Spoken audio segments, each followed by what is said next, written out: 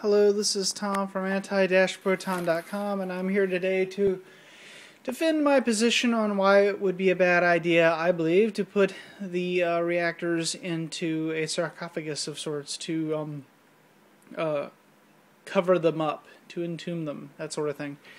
Alright, first off I'd like to thank everybody who replied to my video, whether they agreed with me or not. Differences of opinion are perfectly acceptable and wonderful things. Except I would not like to thank those people that said that I was dumb, insane, idiot, or crazy just because I did not agree with them. That that is sort of uncalled for, and you know whatever. I'll let people like that. Well, anyway, the point is, uh, if you had a difference of opinion with me and you argued out your point, good for you. That's what you should do. That's called debate, and it's a good idea. Here's my opinion of what should happen. Remember what I said? I am not a physicist. I, well, I mean, I guess you could call me an amateur physicist, but if by physicist you mean PhD in physics or something like that, no, I am not. I am a computer scientist. I do hope to get my master's degree in physics, but I don't have one right now, so I can't call myself a physicist, and I won't. So just understand that, too. Take it with a grain of salt if you like. Alright, here's your basic reactor. Now, this is incredibly simply drawn with like a Sharpie Okay, I wanted to do this at work, but I am not allowed to have a video camera where I work, so can't do that. Can't use the phone. Here's your basic reactor. This does not look like the inside of the Fukushima Daiichi reactor, well, the plant's reactors. They're differently designed. But, I mean, the same basic design, just this won't look exactly right. You, I'm just kind of giving you a basic idea here. Water goes in, fills this thing up right here, and it boils. And the steam comes out here to be cooled and circulate it again. The steam turns turbines. Okay, you got that. Now, sorry for the crudeness. I do do 3D animations as you guys have probably seen in a couple of my videos, but they take a lot of time and I rarely have a lot of time. I have I'm working on a bunch of really big projects right this moment and I don't have any time. Here are fuel rods. They're actually probably the fuel is probably not in pellet form. It's probably in little cylinder form, but whatever, close enough. Here are little fuel rods with the uranium fuel. Here's another one and stuck in the middle is a control rod, which in this case uh, is going to be absorbing neutrons. If you pull this out, then these guys can exchange neutrons back and forth. There'd actually be lots and lots and lots and lots and lots of fuel rods and lots and lots and lots of control rods of various types. There are even even other kinds of exotic rods you could have in there, like reflector rods, uh, tampers, all sorts of crazy things. But anyway, here's your basic one. You stick this thing in the middle, and there's not enough neutrons bouncing around because it's cut in half here, and these guys will slow down. You pull it out, and they start speeding up and going into a fissile reaction again. Okay, so once you cut this thing off, you need to let it cool because radioactive uh, decay products that are in here, a lot of them are going to decay really fast, putting off radiation, which becomes heat while, when it's inside here. If you don't cool them off with the water, then they will turn into a liquid at the bottom of the pressure housing.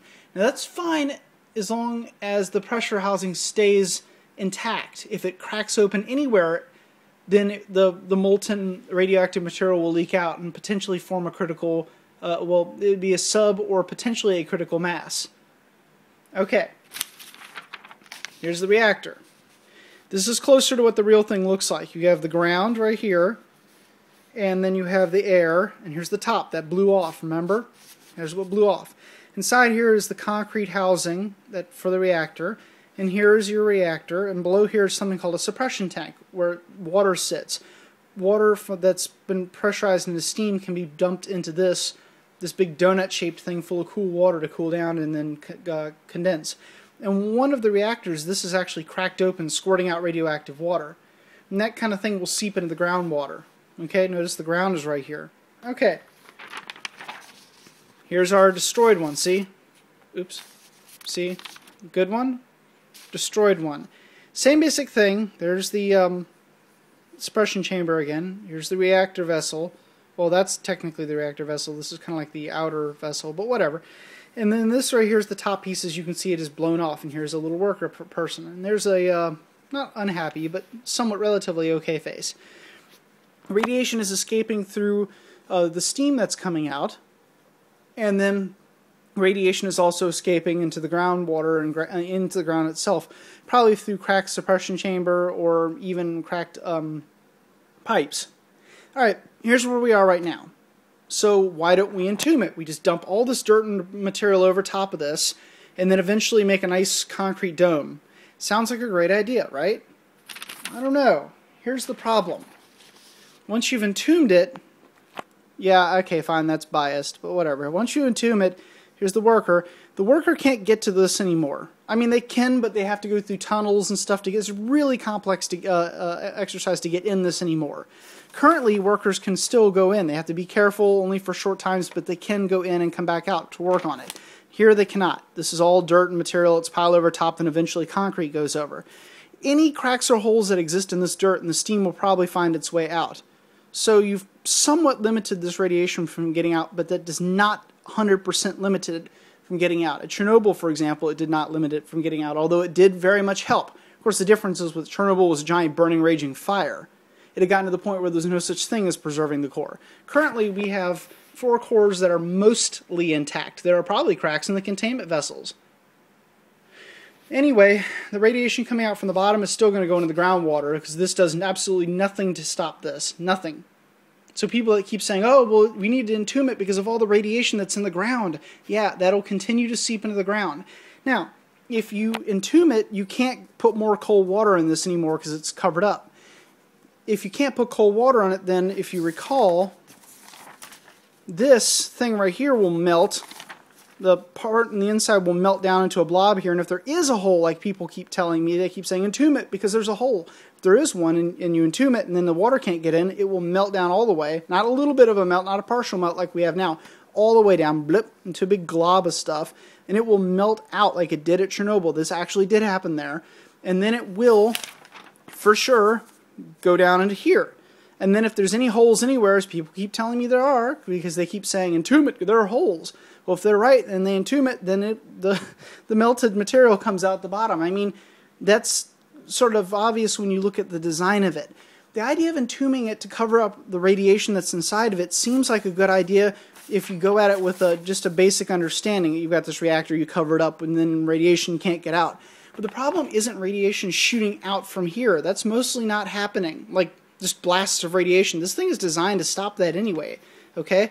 The problem is the escape of radiation from here, which will be mostly prevented when you entomb it, but not all the way.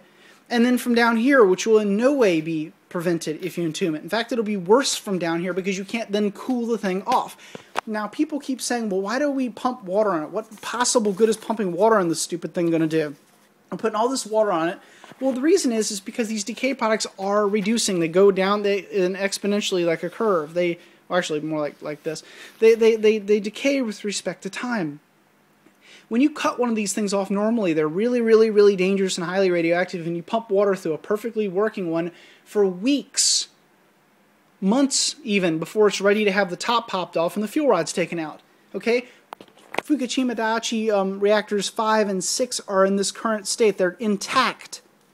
And they're cooling, and they will remain that way for weeks, maybe months, and then they'll eventually open the top and pull the rods out, and that's it, done.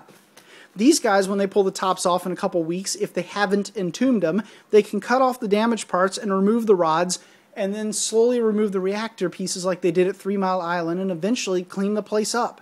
If you entomb it, you cannot do that. And if you entomb it, then the exclusion zone will never be able to be shrunk. It will probably have to be in, in, uh, expanded. And as for all the iodine in the water, most of that iodine will be gone in about 50 or 60 days. It has an eight day half life. Does, does this make any sense to people now?